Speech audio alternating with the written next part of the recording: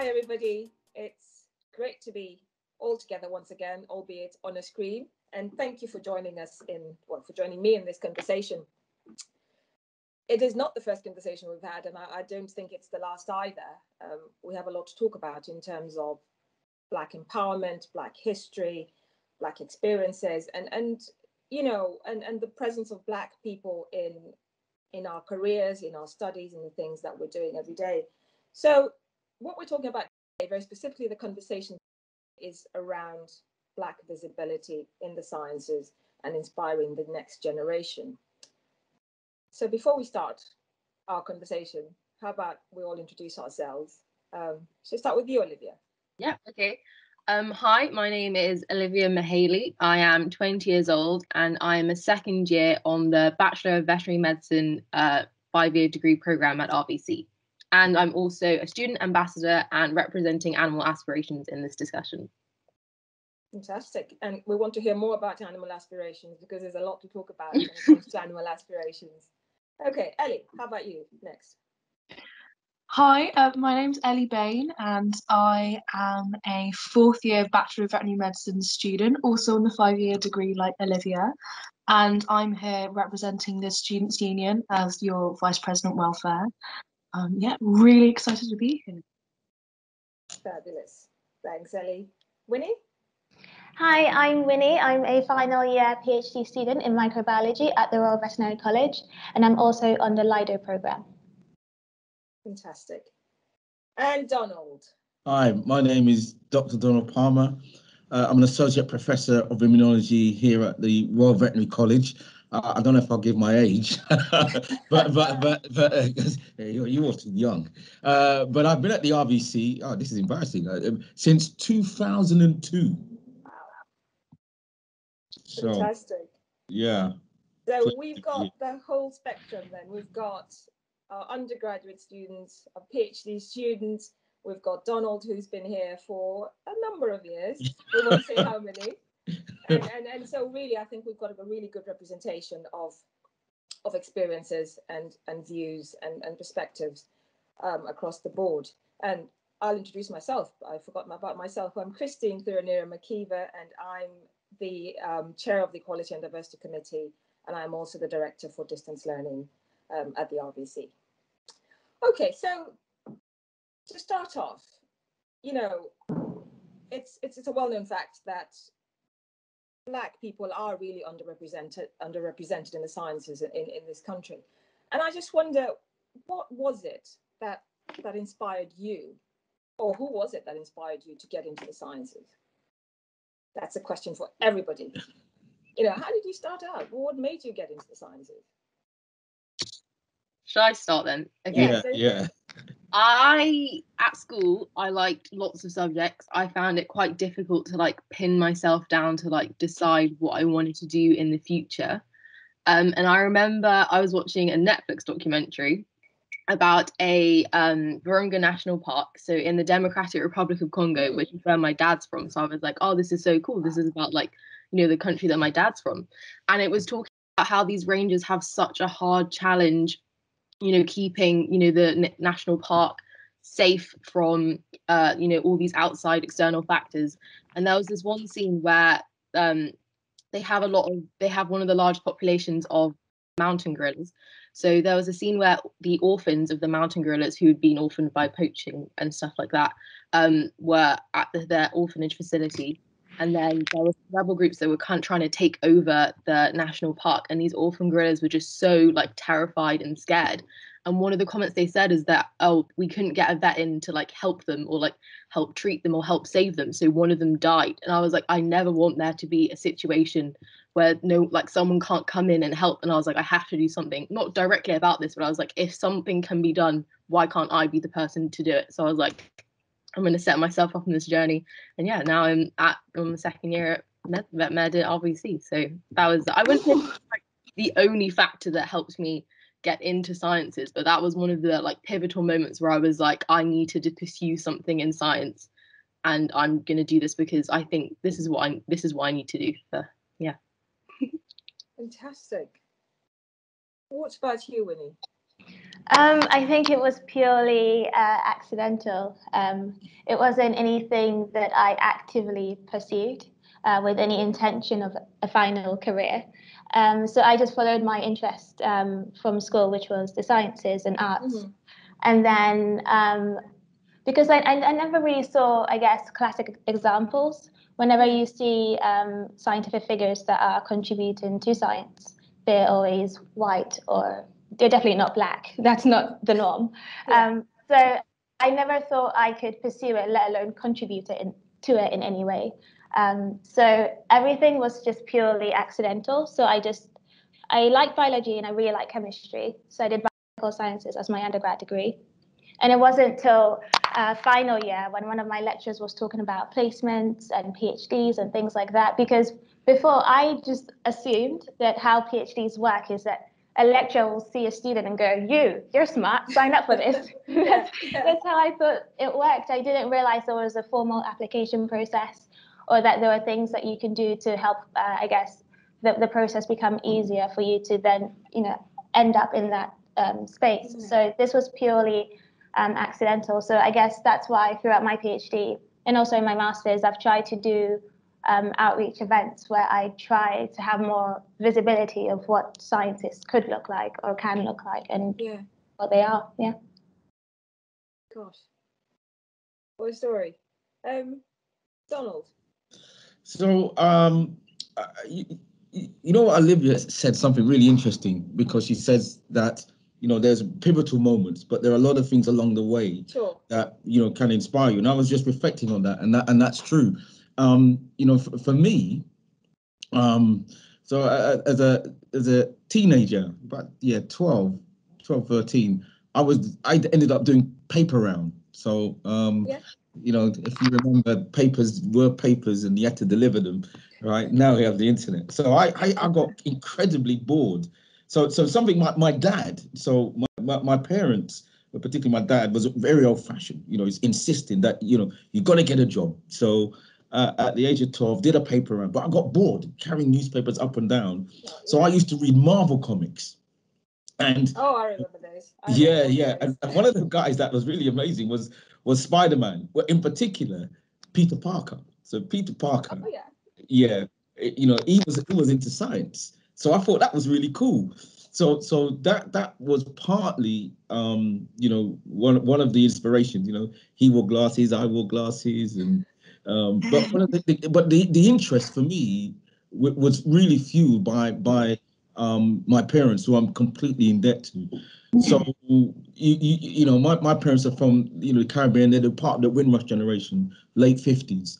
There's six of us in the family. We're in a literally a very small house. You know, classically from from that generation. My mum was a was a a, a cleaner, uh, uh, and my dad worked on the buses. So money is tight. Um, but I, I kind of liked science, and I wanted a chemistry set. So I saw every day I used to walk to school.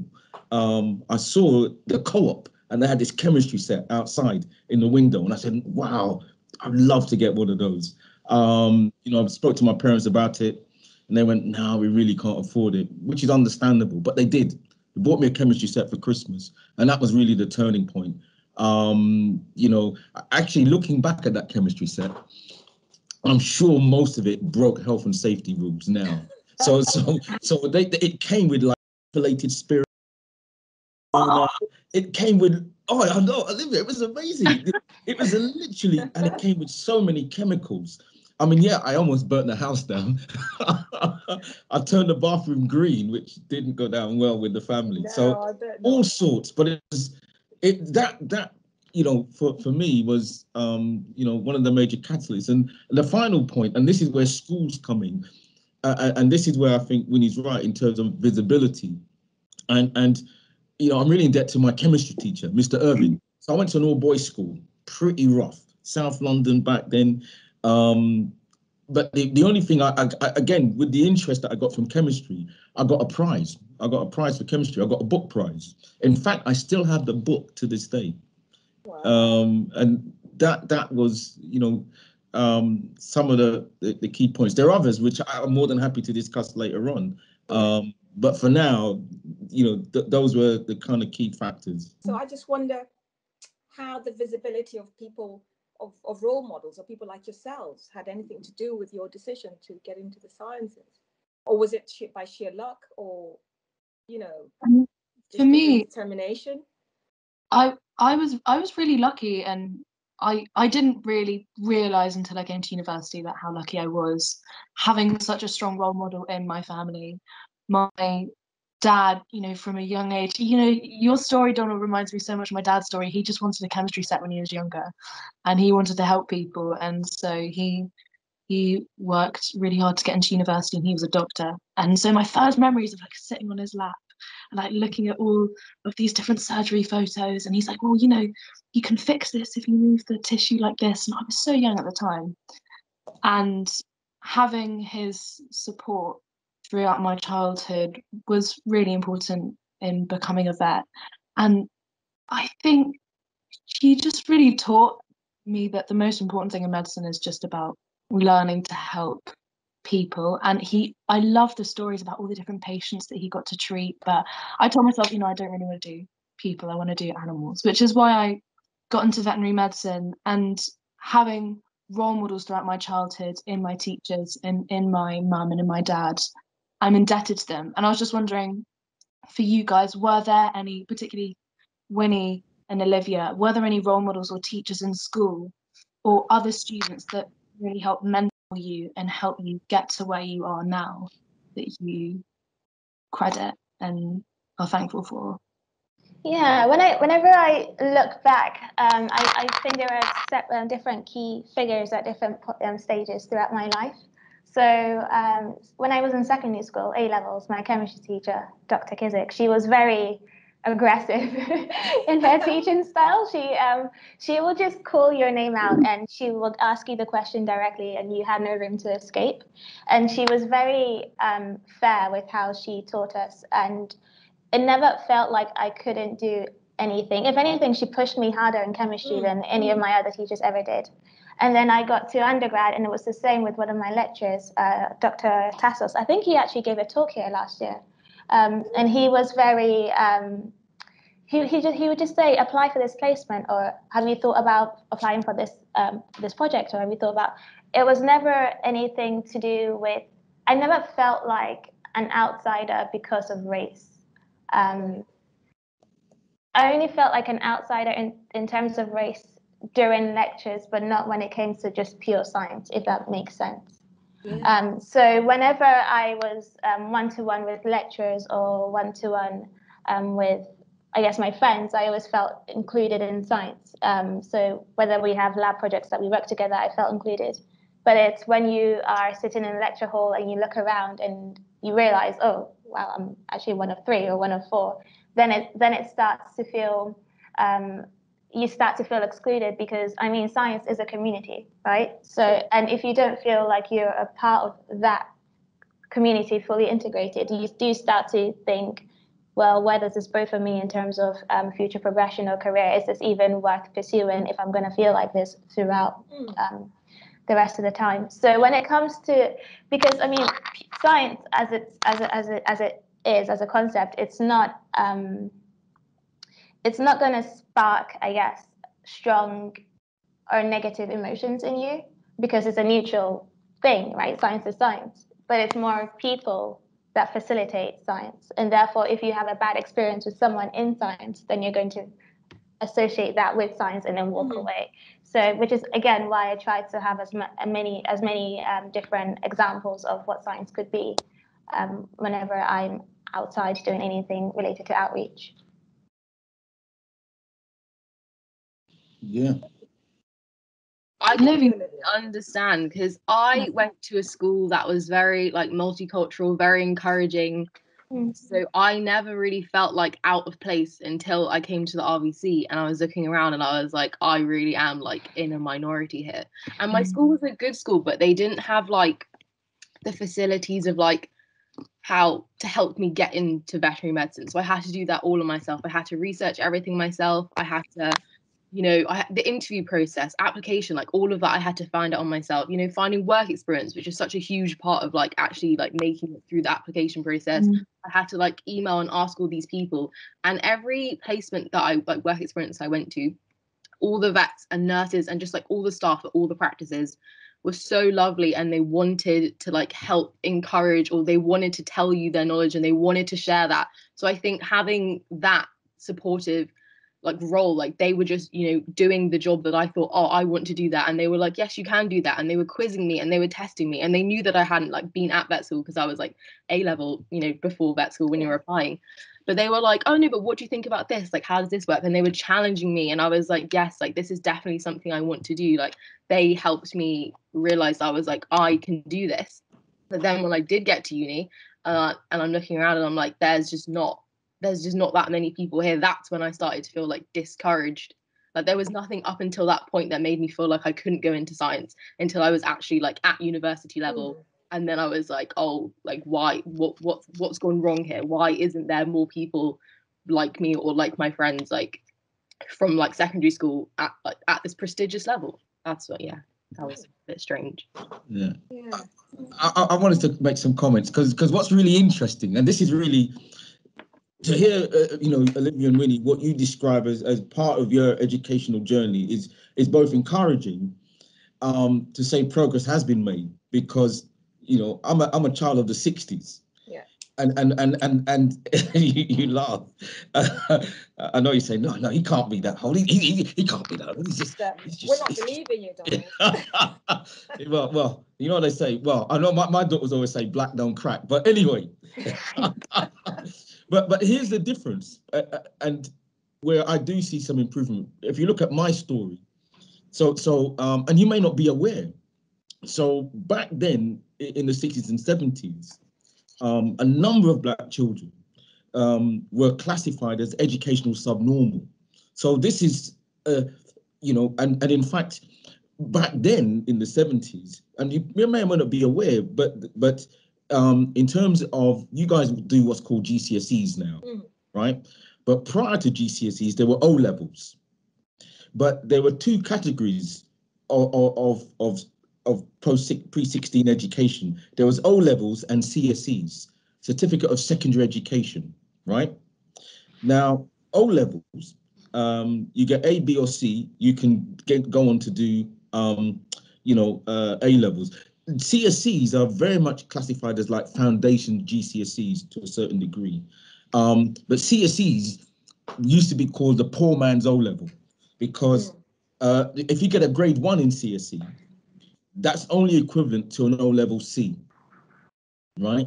So it, it, it, at, at my time at school, a number of black kids were literally just thrown. I mean, there were some guys that were brighter than me um, that were actually just thrown into CSEs. So a whole wave of people were just in what was called CSEs, and and that I think has had a massive and lasting legacy and impact.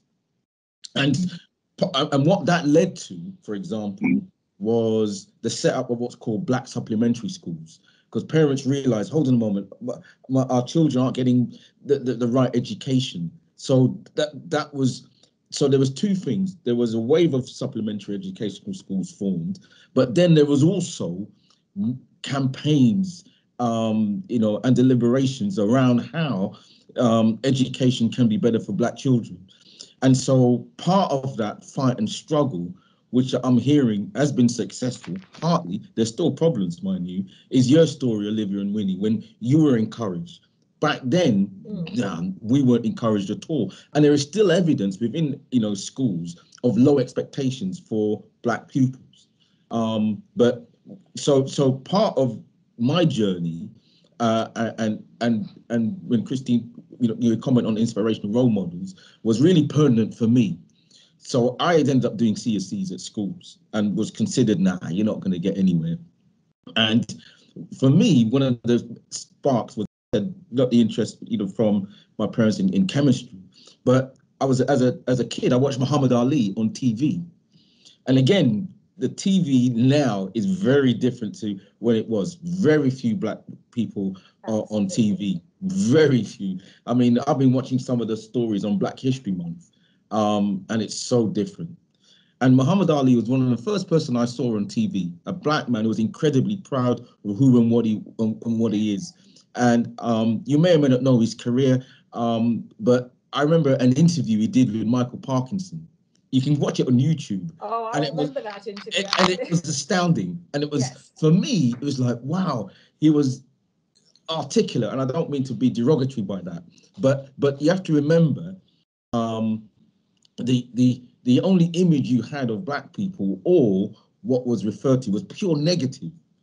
And so seeing this guy, and more importantly, his belief for what he stood for, um, where he decided, um, you know, he was banned from boxing because of his belief. Primarily, he didn't want to fight for wars. He was proved right in the end. But the fact that he was prepared to do that, and the, the discussion he had with Michael Parkinson's are, are revered.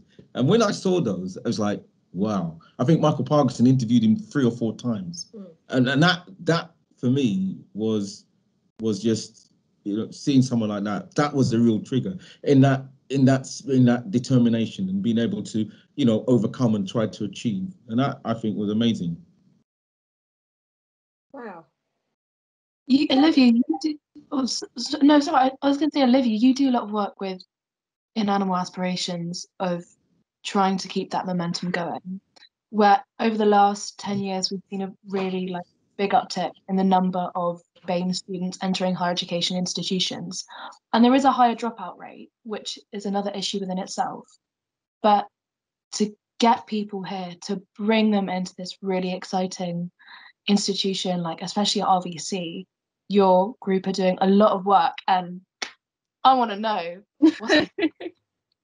Tell us the secret. Go on. Yeah, so Animal Aspirations is a student led organization founded by two lovely girls, Steph and Lavinia. Um, it was only founded in January 2019, so we're still pretty pretty new in like the grand scheme of things. And what we mainly aim to do is just to encourage secondary school and with a focus on primary school children into going into STEM. Like it doesn't have to be obviously this is Royal Veterinary College has got a veterinary, you know, like bias towards it and a science like animal science bias but we it's more about getting people interested in the sciences like full stop. So we put on like workshops interactive workshops where the kids can engage with like clinical scenarios or with like specific cases which they really enjoy and it's really cute seeing them being so like eager and to want to participate in things like that. Or you know sometimes we can like bring someone will bring in a dog to like the workshops and it's like some of them don't have pets so for them to be able to interact with animals and stuff like that is really nice um, and then obviously because of covid we can't be doing some of that anymore. But we have been doing um, like talks and we do put on and we on our website we have a lot of blog posts where each of the team members write about stuff. I recently wrote one about um, one health. It was called can vets prevent the next pandemic? And it was all about like how vets are a part of like a larger global society of like scientists and like what you because i feel like the majority of people when you say vets think of small Mm. like practice but it's like Mm. how many other things you can do like with a vet degree like you can become a part of the government you can work with like epidemiologists and stuff like that just like breaking the stereotypes of what people think scientists are or like what vets are or just what people in stem can look like so again all of this like black Mm. visibility um i really like the reason i wanted to join animal aspirations is because again there just wasn't that many people in my year and I, who were from a minority background. And i said this i just know that there is talent out there. We just need to make sure that they know that this is an option for them. So and the whole team is lovely. Like everyone who's a part of the team you can genuinely tell that they have like a passion for wanting to help implement change. And when you see them doing the workshops for the talks like they're gen- that's just so inspiring think that everyone who is a part of the team is a role model because even if we're only there for like one day or one afternoon you never know how much like that is going to impact on someone's life because it doesn't necessarily have to be like a mentorship role but just being there and being present and like giving you know your attention to someone and helping like spark that fire of interest in stem i just think i just oh i'm just so proud i'm proud of everything that they've done and i feel really blessed and grateful to be a part of the organization Do you- Fabulous. You feel like a role model, Winnie. Pardon? What was that? Sorry. You feel like a role model. Oh. um, I don't know. I don't feel like a role model, but I but that doesn't stop me from, I guess, doing things that might be classed as role model like. I think that's more important than the label. Um, I think as long as my main thing is to make science seem less scary and more appealing and Mm. um, just to if, if someone has an interest in it encouraging them to cultivate that interest and that's all i can do and then i just walk away from that um, anything else that comes with that i'm i sort of shy away from Well, Winnie, you do actually do quite a bit of active supporting, if you like, and mentoring. You might not realize it as such, but you you you, you help younger students in labs, and then you Yeah. go and talk to, you know, to, to students, and and I guess present yourself as as what they could be, you know, a PhD Yeah. student. Yeah. So so you do actively get involved in that, don't you?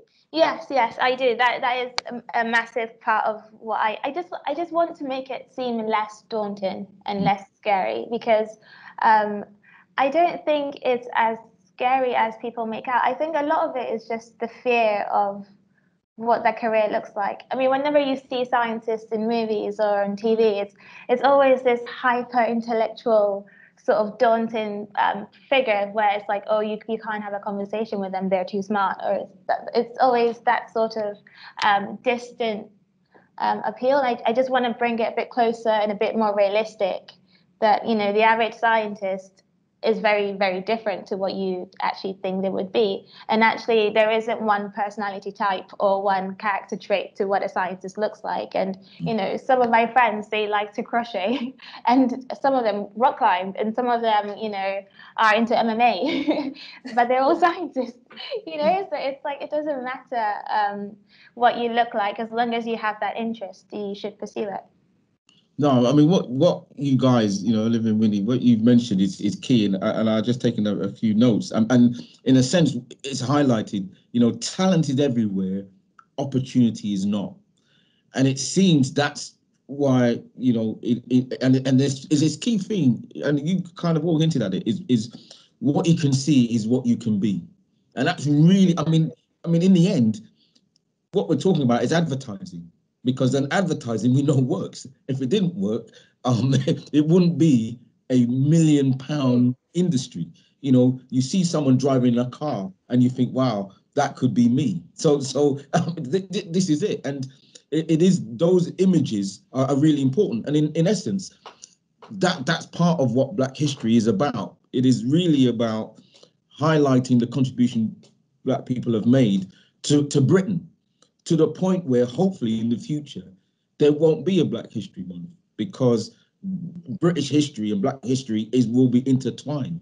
Um, and but but yeah, the, the power of um, you know of visibility is such. I remember I was involved in one project, funnily enough, um, was with the Royal Society. So the Royal Society, you know, premier in, in terms of science in the UK, um, recognized there was one, there's two. One, there was a lack of uh, inclusivity and diversity in science, but they also recognized that um, black students, BAME students in general, are going to university, which is great, but you know, not but very few were going into sciences.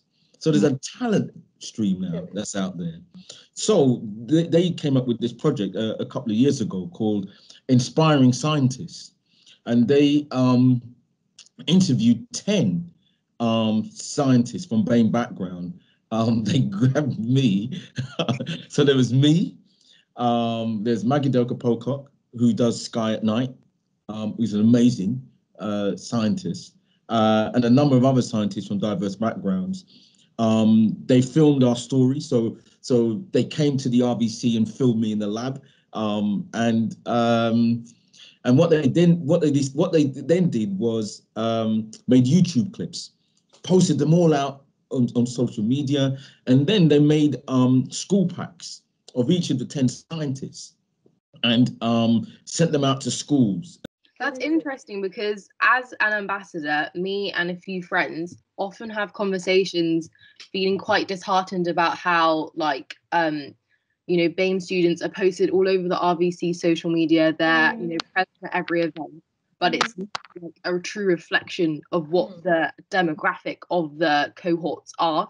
So sometimes we're just like one of my friends I was speaking to, and he was getting really like disheartened. He was like, I feel like I'm just being used as, you know, you know, just to be like the token person. And I was like, but by showing you on these posters, it's showing that other people can also do that. So I definitely think, Donald, that's such an important part of like visibility and how that actually can implement change. And, and as I said, I've been at the college since 2002, and I can tell you that the, the student body is changing. I know, I know, I know, I know. It's, it's a case. You know, you might think, oh, man, there's only like a, a handful of us, but when I arrived, it was it was zero. May have been one, and and and and it's, it, the, and the it, and in a way, there there there has to be a change. There's and, and there's several reasons for that. Uh, you know, one, there are now more vet schools or more universities doing veterinary education, and and equally, the turnover of of of the profession is such that you need to con continually have, um, you know, uh, talent coming through. But equally, from a statistic that I read, uh, that uh, in London, I believe, or in the southeast in general, um, BAME students, black students, BAME, etc., represent amongst young people something ridiculous like 45%. I can't remember. This it's quite a high figure. Yeah. So when you look now at students who are doing their A levels. A significant number of them are, are BAME. So no university now cannot ignore that, nor should they. I'm, I'm sure they won't. But now it's really important that um, uh, with that, you know, talent come in, is it really important that um, universities show that visibility, which is why I ended up doing that program for, you know, the Royal Society of Biology, because they they had all the data to suggest, hold on, more and more students are going to university. So when I went to university, it was what, 2%. Now it's 45%. Okay. Uh, and we know there's a shortage of, of scientists. Uh, I'm, I'm a chair of governance of the school. There is a shortage of maths teachers in the UK, right? If you're a maths teacher, it is gold dust. And, and, and so part of that is that we, we don't have enough people going into sciences. And so, so it, and therefore, that's why you know, the Royal Society said, hold on, we've got to increase visibility of, of, of people from BAME background to inspire the next generation to consider sciences. Uh, uh and, uh, and, and I think it's going to take a while, don't get me wrong.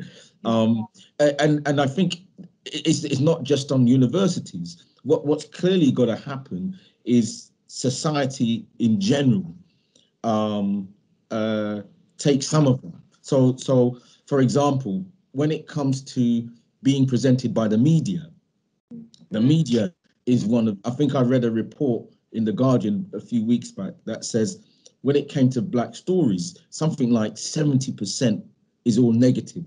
This is particularly for young Black males. Yes. You know, so for young Black males, their story is one. So if you're growing up in that environment, and, and so what you do need are um, imagery um, you you need stories and things like that.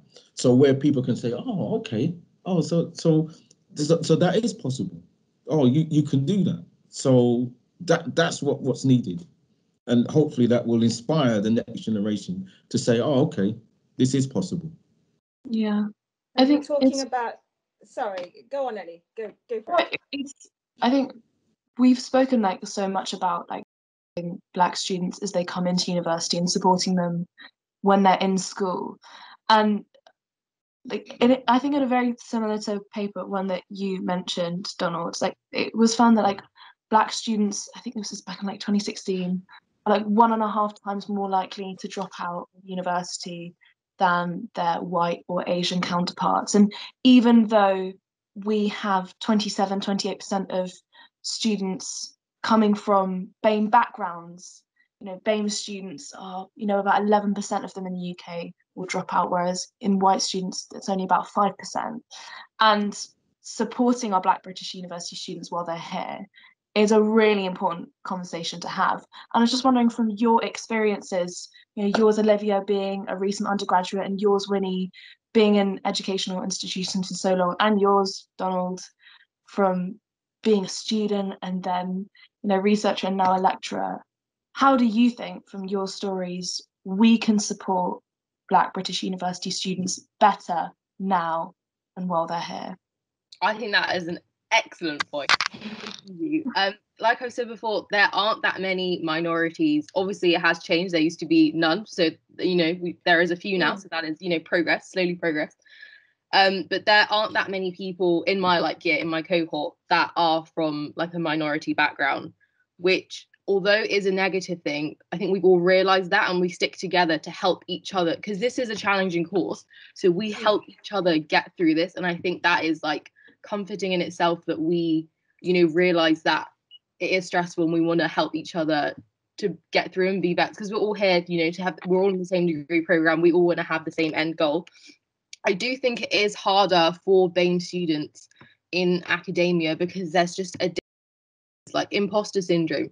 Like i constantly feel like i have to work twice as hard just to be seen as like you know doing the same amount or equal as my like counterpart so having other people from BAME i think is a really like good influence because you can rely on each other and you can relate to each other's experiences and you can mm. comfort each other um, and i do think it is the role of institutions like across the uk to be educating their students while they're at university not just about degree programs but also about like just life skills like unconscious bias training so that when they go into professions and they're in the working world they know how to deal with like class race able-bodiedness. Like there are so many different intersections of life that universities need to be implementing and teaching as well as you know the degree program. So i think you know just stuff like that it needs to be more of a focus in like the actual curriculum alongside what that your degree program that you're studying. So i do think the universities have like a responsibility to be educating you know us for the wider population of us you know going out into society and working and being a mm. part of like you know the next generation of like the workforce. So i do yeah that's what i think. But that was an excellent point. I'm glad you brought that up.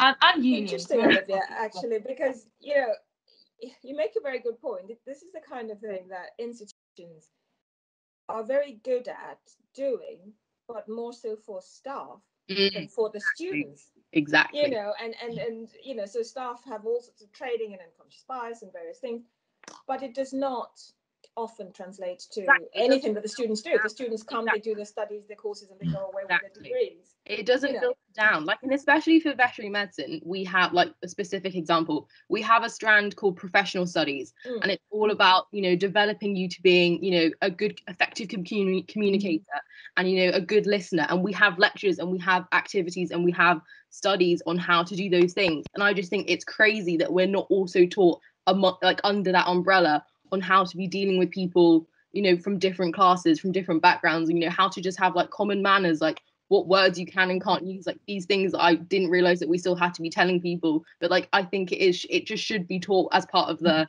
degree program. Well I, maybe we're taking a step back. I, I mean I, I, think now there's been a lot of research into this area um, uh, and one of the leading campaigners and there have been publications um, by um, baroness uh, Amos, mm. who, who, was director of um, SOAS, uh, and a lot of this information on the website. And so the, the, the terminology, um, it, it, was called the attainment gap, but that's now been rephrased to be referred to as the awarding gap. And you can see at different universities that gap differs, and a lot of the research and, and people are looking at this. And and there's a um, several reasons for this. Uh, Olivia's hit on it in terms of um, imposters. It, it's, it's, you know it's referred to almost as a, a sense of belonging, mm. uh, uh, uh and and equally, um, you know uh, how institutions engage and interact. Um, uh, you know, uh, you know, at, at, a general level, you know, like Winnie spoke about a lecturer coming up to say, "Look, have you considered a PhD?" Um, because that's something she wasn't thinking of. And it's, it's quite clear still uh, for many black or BAME students, they're the first one in their generation to go to university. So it's it's it's knowing that landscape. You know, it's it's referred to as social capital. Um, and how you navigate that is really important. And so it, it's you know so so um, when, when you consider you know students uh, you know, you know, if you consider middle class and upper class students, um, at least one of their parents or both have gone to university. So there's subliminal activities on how to navigate that landscape. It is almost part, but whereas for, for BAME students, it's the first time. So they've not got some of that skill set that's required, um, you know, and, uh, you know, it's, uh, there's evidence of microaggression, and indeed we have to acknowledge it racism. So you know, so it you know, so BAME students but may not actually get um, to choose a subject or you know be asked to or be encouraged to do that. So what there is, uh, one there's no silver bullet, but what there are is a, a, a multitude of, of factors.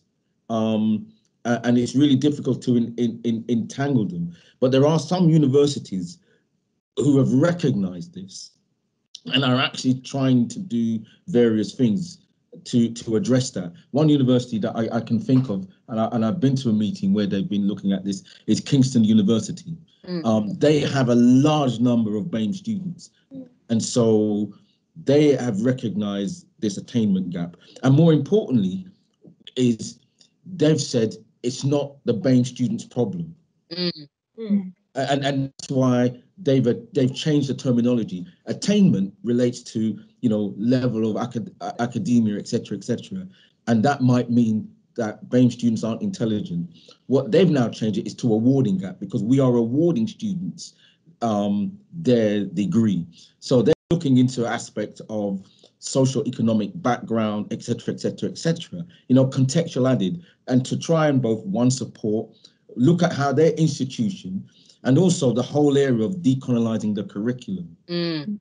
So they, you know, and so so universities are, are, are, doing things like that, in you know, so because they've recognized um, that there is this awarding gap, which I must say differ between different universities. Mm. the RVC is definitely, you know, they are trying. They have the widening participation team have like the Sutton Trust School. They've got the yeah. Gateway program. Like they are, they have recognized it, and I do think this is the beginning of them making long-lasting change. And I'm glad that universities are finally realizing that this is something that they need to be doing actively like again like you said yeah. it's not the students fault so i'm glad that finally the conversation is turning into actually being something positive and something that's actually you know they're, taking actions that are actually going to make long lasting change and effect and you know change the demographic so that i definitely think that's a great idea I think there's I think we recently got awarded like a twenty thousand pound research grant. The RVC did. I think it was yeah, Dr. Victoria Crossley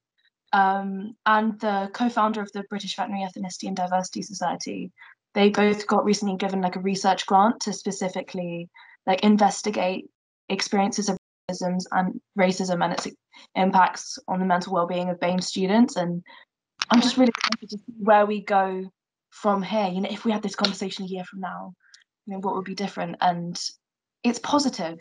And sometimes it doesn't feel positive because we need to have really difficult conversations. Um, but that's why it's so nice to have a forum like this because they're positive conversations at the end of the day because we're making good things happen by through them. Yeah.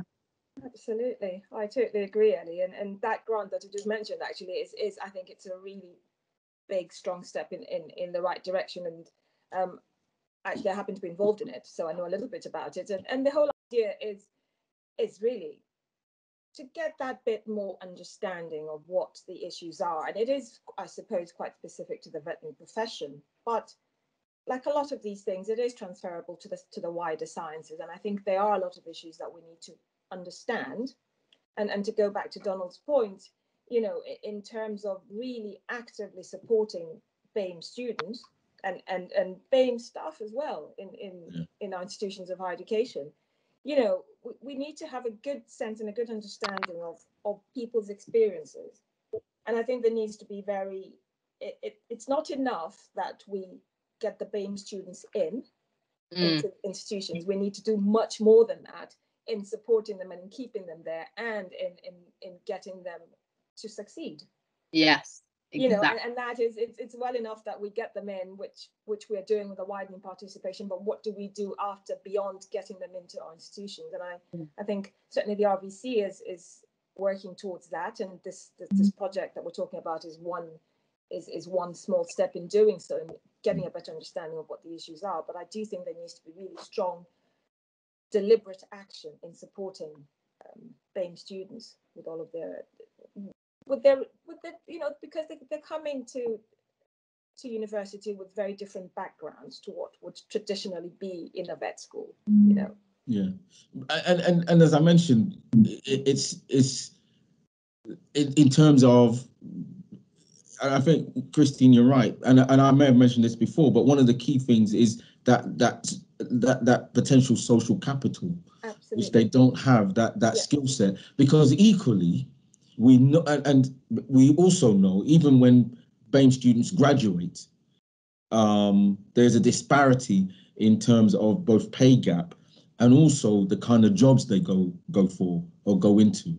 Um, so so there, there there is that um, you know difference that that occurs, uh, and so as you say, it's society in, in general um, that that has to develop approaches and strategies.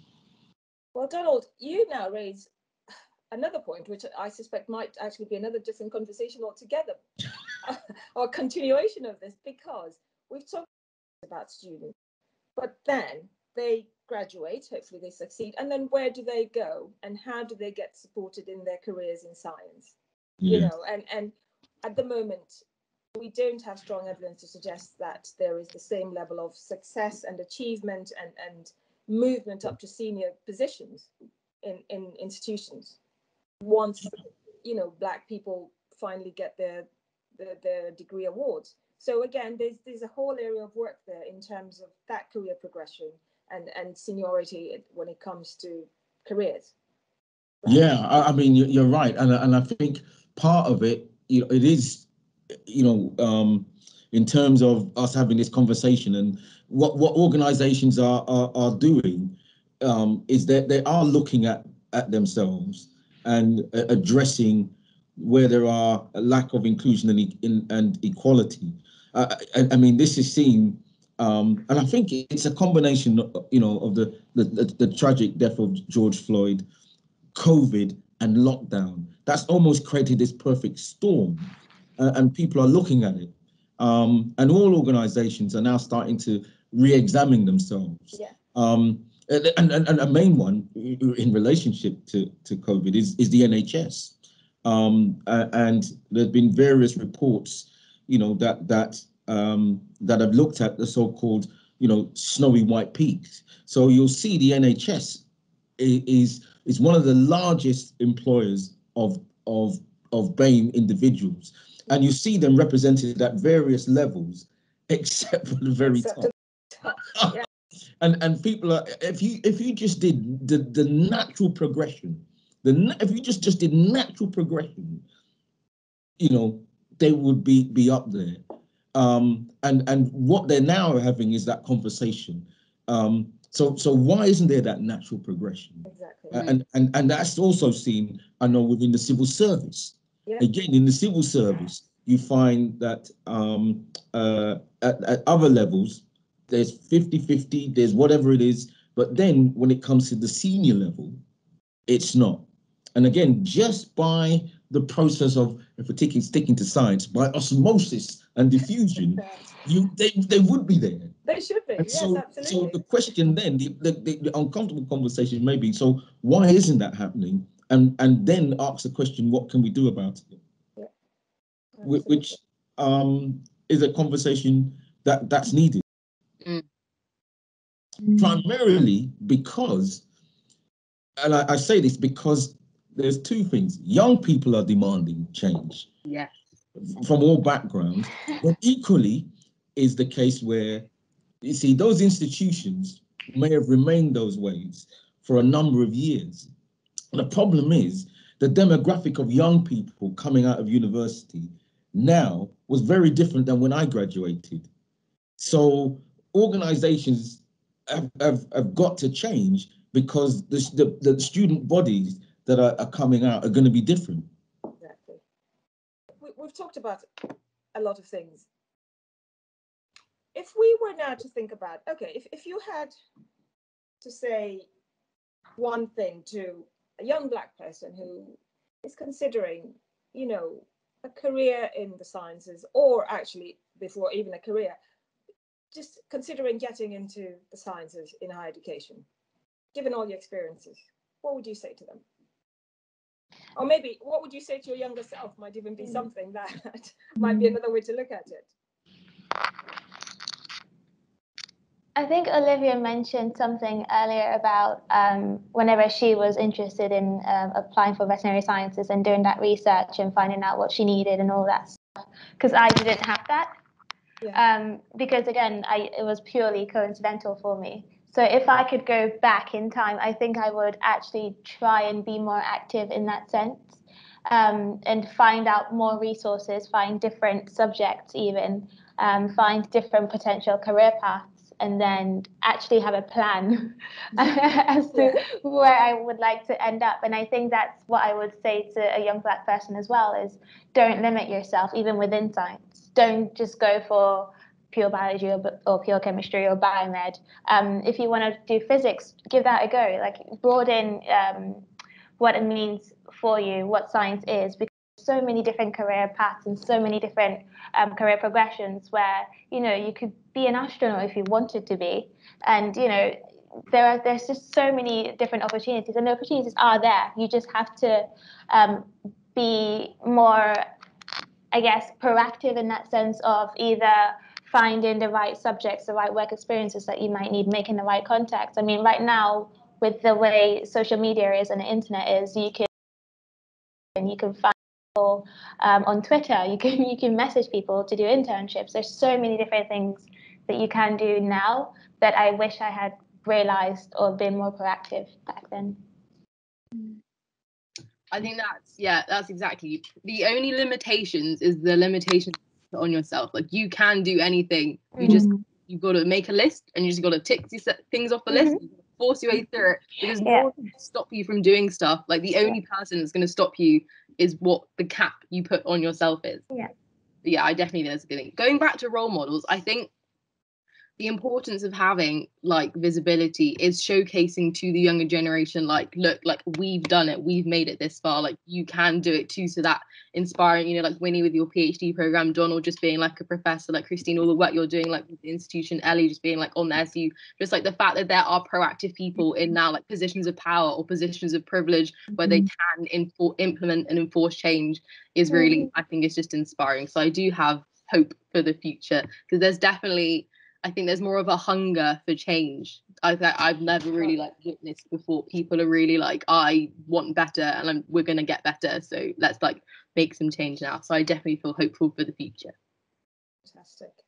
Yeah, I, I just just building on what you said. I think hunger for change. It's so important. I what would I tell a young black person who wants to enter higher education and get into the sciences? I just say you deserve to be here. You fully deserve to be here, not just to be here, but to thrive and be accepted and be celebrated. And changes are being made, and people in positions of power want what's best for you. And it isn't your responsibility to advocate for yourself because mm. institutions and students' unions and organizations are recognizing that we need to be there to support you. And so, yeah, you deserve to be here. And please come. You know, we want you. We really, really want you. You see, Ellie's is doing a pitch there. I you said yeah, it was advertising. Yeah, I, I, no, I, I, I agree. I agree. I, mean, I, I, think the, the key, you know, what would you say to a, a young black person? Um, and and I, it is really, and it, you know, when Winnie says, I, I don't know if I'm a, a role model or, you know, and it, it there's there's a, a phrase, you know, and and people have come up to me uh, privately, particularly students, and have commented, and it's really our presence liberate others. It's literally just our presence. We don't have to do anything, but it, it's literally our, our, our, our, presence liberate others, and, and um, that that visibility is powerful, uh, and I think we are all role models um, in a sense, uh, and what I would say to to a, a young person, um, you know, is to um, you know, is to is yeah to don't and and, and the limitations I, I recognize because it, it's something which is not is more more than likely uh, from outside influences, um, and, and because one of one of the, the, the issues, and I, work for a, a, a, couple of organizations. One organization which I have to give props to, um, there's a couple. So I've done some work with Urban Synergy, who are brilliant.